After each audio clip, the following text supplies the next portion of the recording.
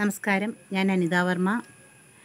Marottichal A U P S സ്കൂളിലെ പ്രിയപ്പെട്ട കുട്ടികളെ.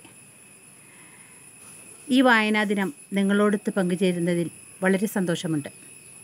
വായന എന്നാൽ എന്താണ്? വായന എന്ന് കേൾക്കുമ്പോൾ ആദ്യം ഓർമ്മ വരുന്നത് നമ്മുടെ ഏറ്റവും പ്രിയപ്പെട്ട കുഞ്ഞുണ്ണി മാഷാണ്. കുഞ്ഞുണ്ണി മാഷിന്റെ ഒരു ഒരു കുട്ടിക്കവിത. വായിച്ചാൽ വളരും വായിച്ചില്ലെങ്കിലും വളരും വായിച്ചാൽ വിളയും വായിച്ചില്ലെങ്കിൽ വളയും. ഒരു മനുഷ്യായുസിന്റെ അർത്ഥം മുഴുവൻ ആ കവിതയിലുണ്ട്.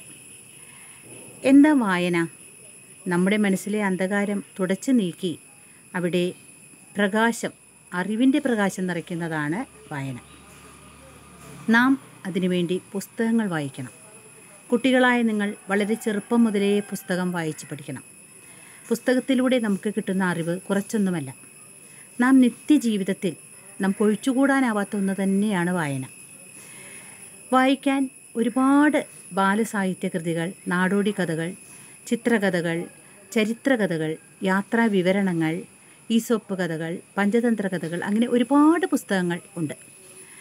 സമയം കിട്ടുമ്പോഴൊക്കെ നിങ്ങൾ ആ പുസ്തകങ്ങൾ വായിച്ചു നോക്കണം. ആ പുസ്തകങ്ങളാണ് നമ്മളെയൊക്കെ സംസ്കാര സമ്പന്നരാക്കുന്നത് നമ്മൾക്ക് സമൂഹത്തിൽ ഒരു വിലയും നിലയും നൽകുന്നത് ഈ പുസ്തകങ്ങളാണ്. ഈ ലോകത്തുള്ള എല്ലാ മഹാന്മാരും പുസ്തകങ്ങളിലൂടെ അറിവ് നേടി പുസ്തകങ്ങളിലൂടെ വളർന്നവരാണ്. അവർ ഇന്ന് ലോകമെങ്ങും അറിയപ്പെടുന്നുണ്ടെങ്കിൽ അതിന്റെ ഒറ്റ കാരണവും ചെറുപ്പം തുടങ്ങിയിട്ടുള്ള ഈ വായന തന്നെയാണ്. ജൂൺ പത്തൊമ്പത് വായനാ ദിനമായി നമ്മൾ ആചരിക്കുന്നു.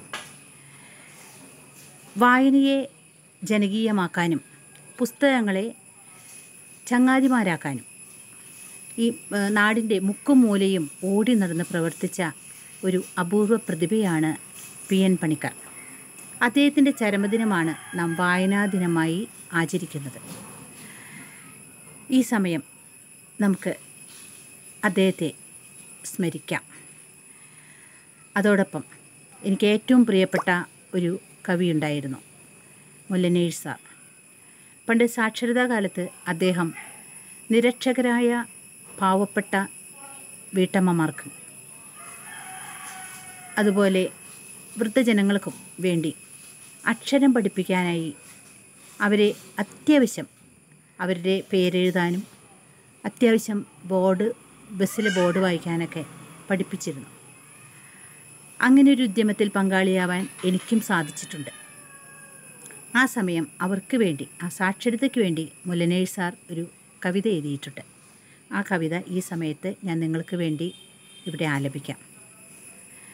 അക്ഷരം തൊട്ടു തുടങ്ങാം. നമുക്കൊരു ആകാശം വീണു കിട്ടാൻ.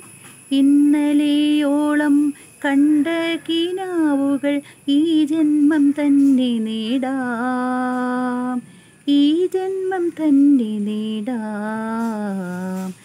അക്ഷരം തൊട്ടു തുടങ്ങാം. എന്റെ പ്രിയപ്പെട്ട കുട്ടികളെ നിങ്ങൾ അക്ഷരങ്ങൾ പഠിച്ച് അക്ഷരങ്ങളിലൂടെ വളർന്ന് ഈ ലോകത്തെമ്പാടുമുള്ള ഉയർന്ന സ്ഥാനങ്ങളിലെത്തട്ടെ എന്ന് ആത്മാർത്ഥമായി പ്രാർത്ഥിക്കുകയും എല്ലാവർക്കും വായനാ ദിനത്തിന്റെ ആശംസകൾ നേരുകയും ചെയ്യുന്നു.